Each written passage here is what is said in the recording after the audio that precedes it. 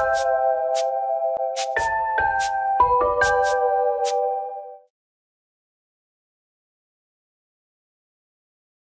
next up we've got Siobhan Wren, who's a ophthalmology consultant at Imperial, so she's come a very long way um, today.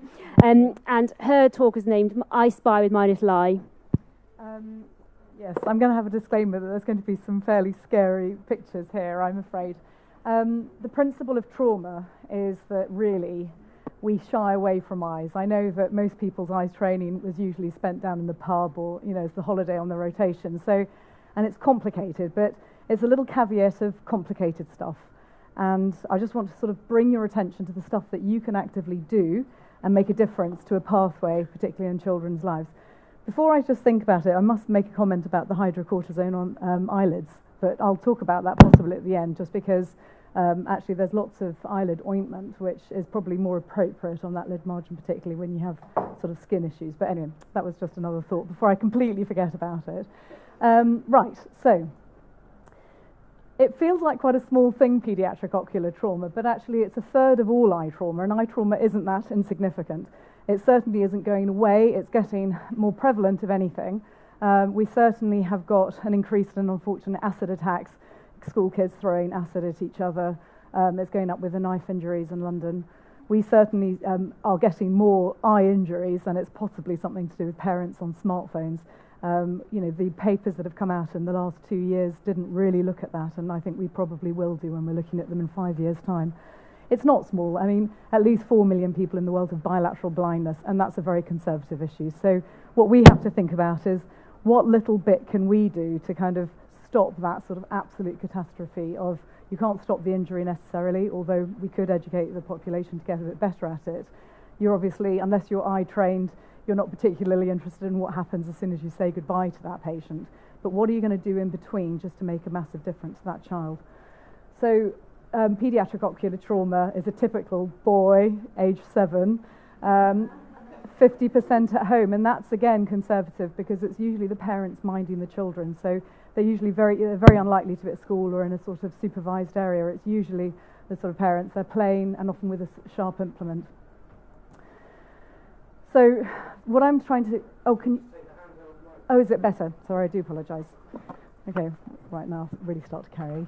Can you hear? Is that better? Sorry. Um, so, the first 60 minutes is what I want to focus your attention on because. Is that, is that good? Um, obviously, we're not going to necessarily change the injuries of anything they're going up at the moment. And we've just got to sort of think to ourselves, what are we going to do from that time?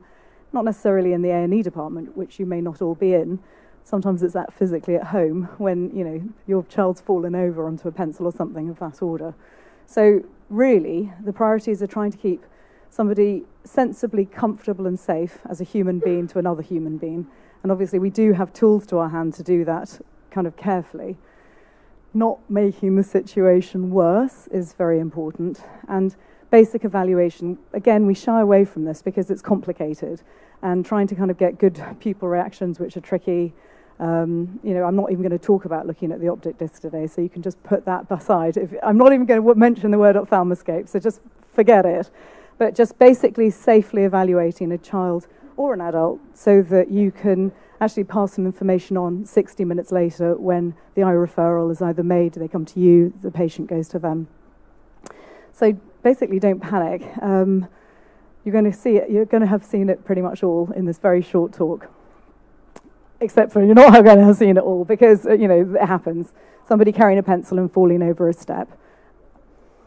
So the three parts of trauma I'm going to talk about are just category one, which is basically just keeping something comfortable, safe, and just doing basic checks, which is things like hyphemas and blowouts. Category two, stuff you already know, like the chemical washouts.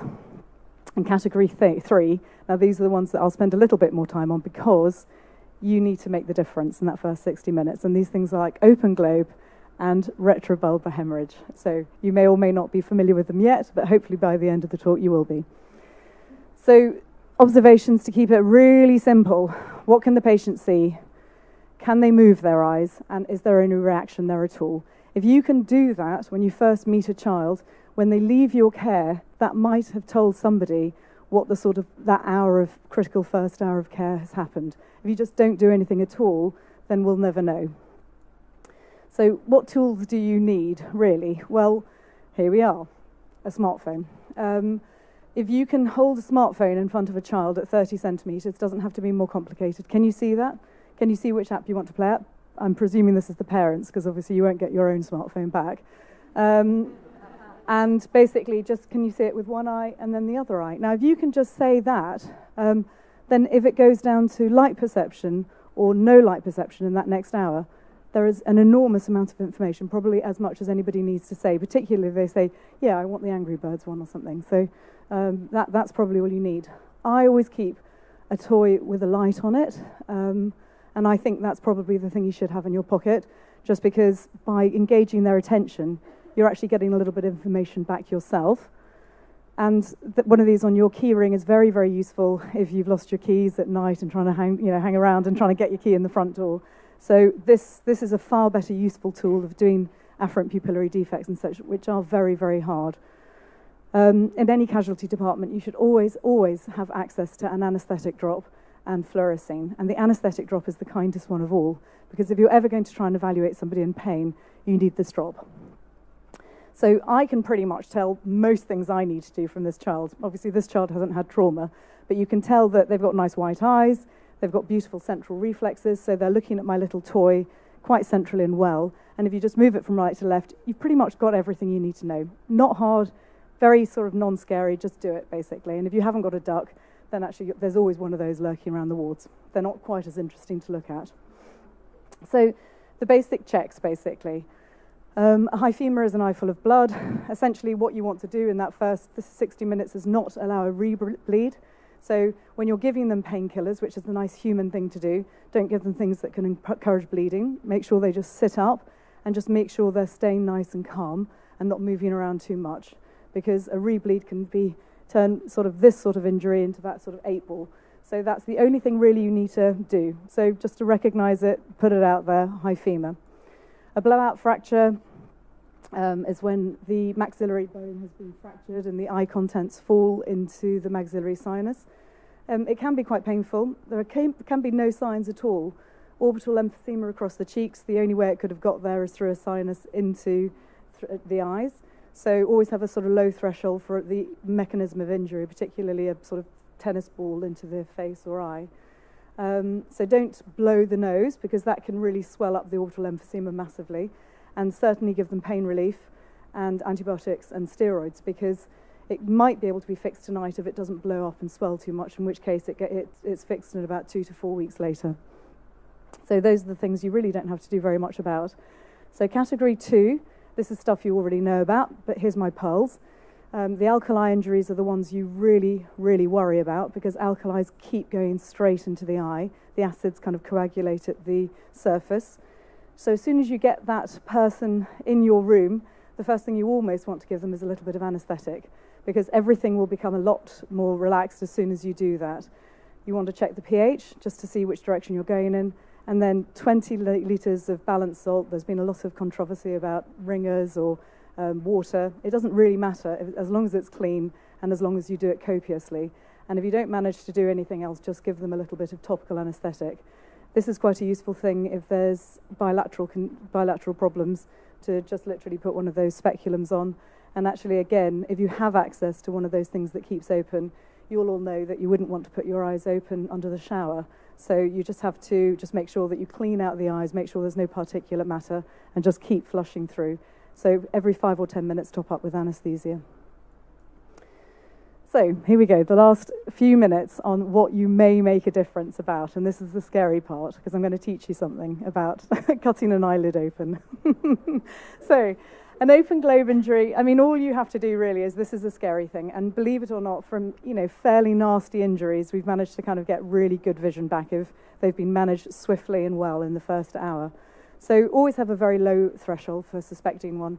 A teardrop pupil, just the mechanism of injury, particularly if there was something sharp and it looks as if nothing's going on.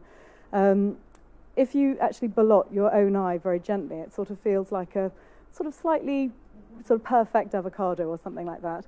Um, I wouldn't obviously advise that you manipulate eyes very much, but there's only two circumstances where you'd ever need to do that. And one of them is when you're wondering that there could be a massive hemorrhage behind the eye, in which case it's rock hard.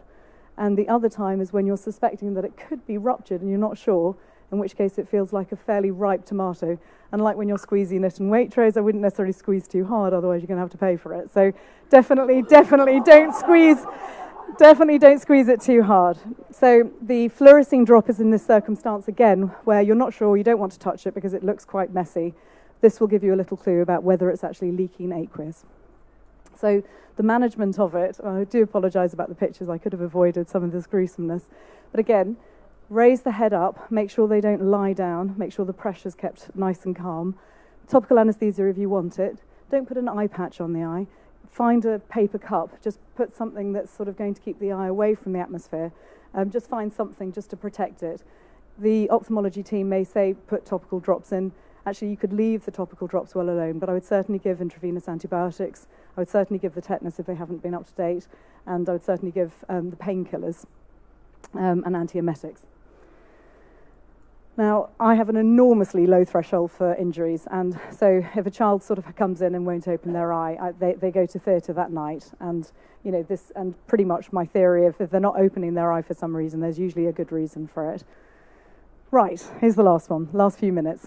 So, a retroorbital hemorrhage. You may not have even have heard of one of these yet, but like me watching Ray Mears in a sort of cave with a snake, hopefully I'll never need to kind of tackle a snake, but I kind of have a rough idea thanks to his guidance about it. Essentially, this is a true compartment syndrome. So basically, somebody's been whacked in the eye. Um, this is an older sort of child. I mean, I think he's actually about 16, where he was kick, he was doing kickboxing, got kicked in the eye, and he came into casualty. And initially, sort of not too much. He was just coming in for an eye check, but the eye was getting worse, more uncomfortable, more painful. And if you've done your baseline quick check, even on an iPhone, um, you would have noticed that actually the next time you've done it, he can't really see very well. And you're sort of thinking, is it because he's in pain? What's going on with that? But essentially, his vision's going down. When you sort of do your own little bolot of your own sort of nice avocado and then you touch that eye, you notice it's coming forward and you notice it's rock hard. Now, in the 60 minutes where somebody's going to come to you, you can make a call. You can just say to yourself, I'm going to leave somebody else to do this. Or you're going to start off trying to save his optic nerve because this is the 60 minutes that counts. By the end of the 60 minutes, it's gone and he's lost his vision for good. But you might be able to do something just to release it. So it's a canthotomy. Now, obviously, you may not be surgeons and you may th- think the whole thought of this is terrifying, but you make that call because you certainly don't have to do it. It doesn't do any harm to try it, and even if you haven't done it properly, it heals really beautifully. But I'm going to just walk you through it in the last couple of minutes. It can save sight, and it's really fun to do if you've done it. And one of the coolest things I've ever seen is pitching up to a casualty department and somebody having done it. And I just thought that was the coolest thing I've possibly ever seen in my life. So, the canthal tendon is what kind of holds our eye in place, and it's just underneath this corner part of our eye. Now, believe it or not, when we cut through that canthal tendon, it doesn't make a massive effect and it actually heals beautifully on its own. So, you know, you don't even have to sew it up afterwards, don't even have to think about it. So, the first thing, ignore that picture because you'd never inject towards the eye. Um, you'd obviously have to consent. Now, this is children we're talking about. So, if we are even thinking about doing this, even thinking like ophthalmology's on their way, look, I think I have a very strong suspicion, hard eye, vision's going down. I'm going to think about a canthotomy. I can't remember the name, but I know I have to cut the side of the eye. Are you happy? Yep, let's go for it because I'm not going to get there for half an hour. They're finishing off their pint in the pub. So the first thing you're doing is consent them, chat to the parents, give them some sedation. My favourite is ketamine, very, uh, very, you know, because I give a lot for my Botox treatments for kids. So basically, consent them, give them some sedation, inject some anesthesia with lignocaine and adrenaline. I always use adrenaline for around the eyes because they bleed like hell. And always inject away from the eye. Just keep it safe. Okay, so that's number one. Number two and three together. Once the anesthetic is kicked in, so in other words, you've had a bit of two, two or three minutes clean around the eye, do what you want to. Squash the eye flat, so you're going to get a nice sort of clean line. There's not much space behind here, but if you just slip something in, crush it, and then cut it, um, you're not going to go wrong. You could actually even stop there, that might be enough. But really, to get the maximum effect of it, we go straight to number four, which is pull the eyelid out, and then you'll find the silky tendon just there. You have to sometimes clean it a little bit, and you snip down and cut it. And as soon as you do that, you'll see the pupil start to react again. Somebody will say, Oh my God, I'm starting to see colour vision again. It's all starting to come back. And if it's not enough, if it really isn't enough, you can do the canthal tendon, um, which is on the upper part as well. So you can do both of them. Okay? Now, I'm really hoping you never need to do it, but you know, if you do need to do it, then that would be definitely the coolest thing. And in those 60 minutes, you would have saved somebody's eyesight. And although they may not remember your name, they'll certainly remember that sort of lucky night in casualty they met somebody who had the balls to do it. So that's just on the skin again. So basically, the bottom line with it all is refer everything to ophthalmology. That's dead easy, isn't it? But um, just be human, keep people comfortable, keep them safe, do things you need to do, and you know what? Have the balls to do it if you can.